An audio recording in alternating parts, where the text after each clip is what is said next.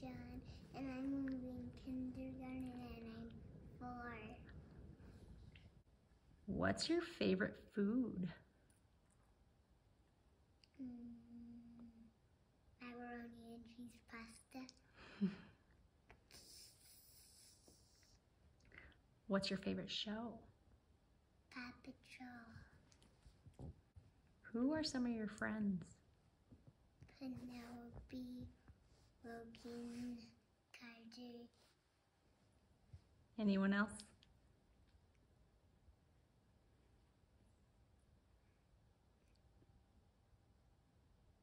Is that a no?